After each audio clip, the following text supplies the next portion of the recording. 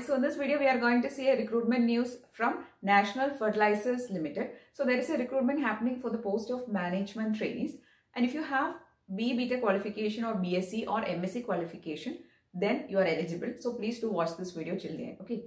So uh, let us see the post details first. So the post is for management trainees and the branches they are calling are chemical engineering, mechanical engineering, electrical, instrumentation, civil, chemical lab that is for actually uh, BSc, MSc people, then fire and safety. Okay. Now let us see the vacancy details. For chemical engineering there is 4 vacancy, mechanical with 7 vacancy, electrical with 4 vacancies, instrumentation with 5 vacancy, civil with 1 vacancy, chemical lab with 7 vacancies and fire and safety with 2 vacancies. Okay. So these are the vacancy details. Now the pay scale is 40,000 to 1 lakh 40,000 is a pay scale and it is common for all the categories. Okay. So that is the pay scale. Now next let us see the qualification for various categories. For the first which is management trainee chemical, the qualification is full-time engineering degree, BE, BTech or BSc in chemical engineering or chemical technology with 60 percentage of mark. Or if you have done AMIE in chemical engineering again, AMIE people are also eligible. Okay. So that is actually common for all the categories. Either you should be having a BE, BTech or BSc or AMIE in the specific branch. Okay. Next is mechanical engineering. Again the qualification is same 60 percentage of mark in mechanical engineering or AMIE in mechanical engineering. So that is actually same for all the engineering branches. Next is for chemical lab. The qualification they are saying is you should be having a full time regular MSc chemistry with minimum 60 percentage. Okay. That is the case for chemical lab. Next is for fire and safety. For fire and safety again you should be having a full time regular degree that is B or BTech in fire engineering. There is fire and safety engineering with 60 percentage of mark.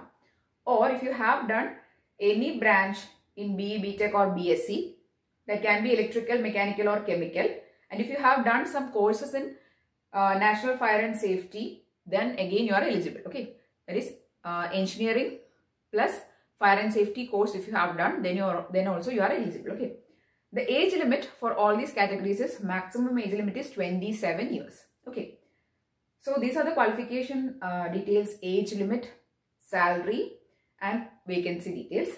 Next is the application process. So for apply, you have to click on the link which I'll be giving in description. You will be getting a, a link for registration. First register yourself, then apply online. Okay. So directly through that link, you can apply online.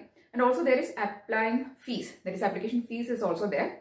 There is a non-refundable fees of 700 rupees for uh, general category and OBC category and economically weaker sessions. Okay and other people are exempted from the fees. Okay, so that is the application fees. Next is selection process. Selection process will be happening through an aptitude test plus interview. The online test is given 80% of weightage and personal interview is given 20% of weightage. Okay. Next is exam pattern that we are going to see. The total time for examination is 2 hours. Total mark is 150 marks and there will be 150 questions also. And the question uh, division is like this. From your technical subject, there will be 100 questions. From general awareness, 50 questions. Then there is no negative marking. So totally 100 plus 50 questions will be there. Total 150 questions and 150 mark. And also there is no negative marking. Okay.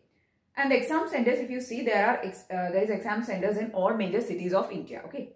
You can also see the exam centers on the screen. So that's all about the recruitment news and uh, the application will start. That is you can apply online from 22nd of December. That means it has already started and you can apply till 21st of January. Okay.